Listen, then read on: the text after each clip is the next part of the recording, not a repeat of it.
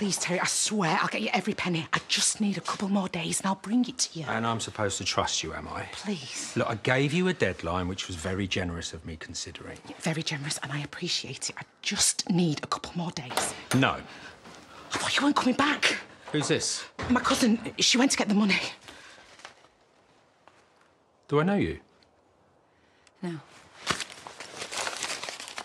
Right, well, that's not even close. Well, it's all I could get. Well, she owes me 20 grand. She can't give you what she ain't got. Well, I'm not leaving here empty-handed. Uh, you, right, you're coming with me. Come here. Right, come on. Now call me when you've got it. Leave him out of this. I'm coming with you. I don't think so. Just move. Okay, Mum. No, he's not taking you. Oh.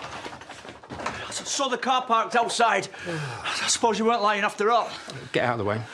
Let go, of Vinny. Don't be stupid. Just put that down. Don't call me stupid, all right? Hell's tea, Sam. What's going on? Let go of him. Th- This ain't helping anybody. Right here, I've got, I've got ten grand here.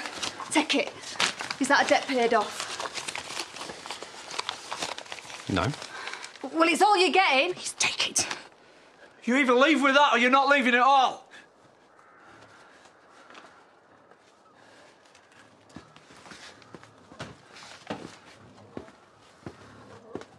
And get out. Don't come back either.